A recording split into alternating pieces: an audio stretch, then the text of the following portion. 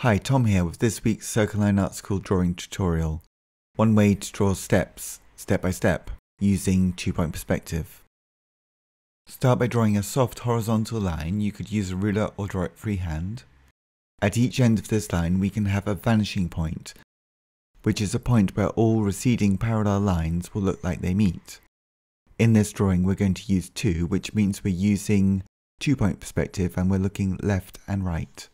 Now draw a line from the right vanishing point towards the middle base of your drawing. It is just a guideline so it can be quite soft. We only need to use the nearest part of this line. Next, draw another line from the left vanishing point.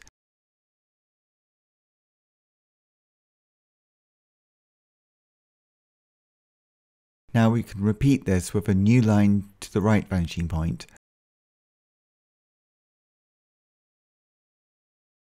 and a new line to the left vanishing point. This will create a rectangle in two-point perspective which is lower than the horizon line. Next we can draw a wedge shape that we will need as a guideline for the steps. To do this draw a vertical upright line from the right corner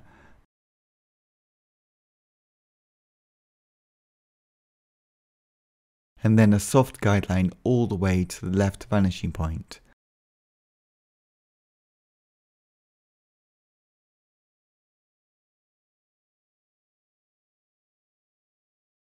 Then we can draw another vertical line at the back of the rectangle on the ground. Now we can draw two diagonal lines to the base of the rectangle.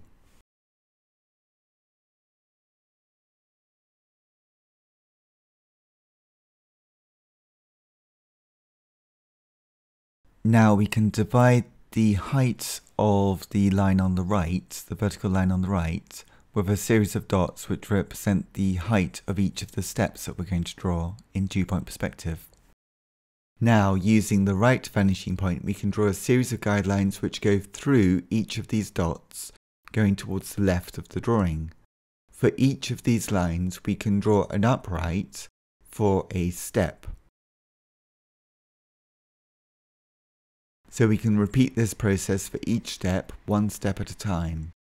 And all of these steps are going to the right vanishing point. You'll find that your drawing of steps might look different to mine, which is fine, as long as you follow each of the techniques step by step. The reason for this is it depends on the exact angle of the lines of the first rectangle that we drew in two-point perspective and also on how high you placed the horizontal line in your drawing. But if you just follow along, you should get all of the steps working really well. Next, we can use the left vanishing point for all of the receding lines of the steps as they go away towards the left.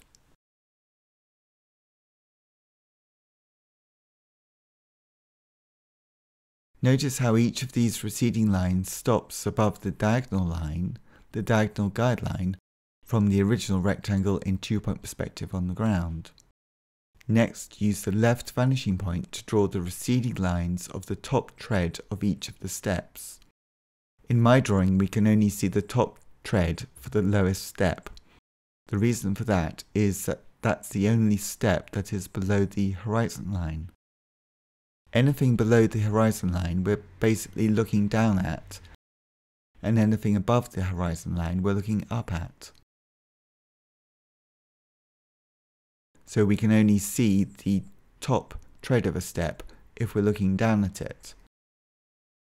But when we're looking up at a step, the top tread of a step is invisible and therefore we can't draw it. Once you've finished the first steps of this drawing and they all work okay, well then you could add some more steps on the right. To do that, we use exactly the same technique as we did for the steps going receding to the left vanishing point, but this time the steps are receding to the right vanishing point.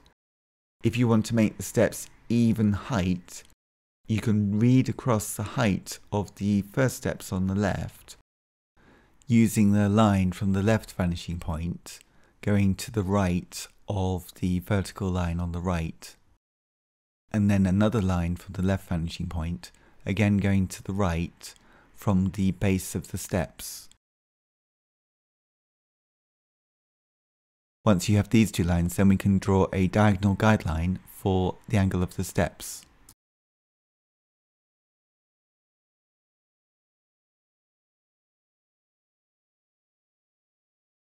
Next, we can draw two receding lines from the vanishing point on the right, going to the base of the angle of the new steps, and then going from the top of the angle of the new steps to the right vanishing point.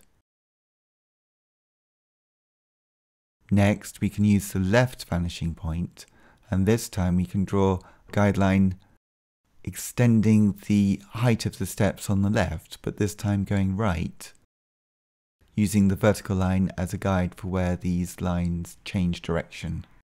So in this way the height of the steps will stay the same on the left and the right. If you'd like to learn more about how to draw from scratch, please consider joining one of my online drawing courses. There are more details at circlelineartschool.com. My number one online drawing course is called How to Draw from Scratch and offers easy to follow step by step approach using simple terms and techniques. Each section teaches fundamental techniques needed to master the art of drawing from scratch. Once you purchase one of my online drawing courses, you get full lifetime access to all content and all updates. So if you're interested in improving your drawing, starting at the very beginning, please visit circlelineartschool.com for more details. Thank you very much for watching. Please subscribe to my YouTube channel for a new drawing tutorial every week. And if you'd like to know more details about my online courses, please visit circlelineartschool.com.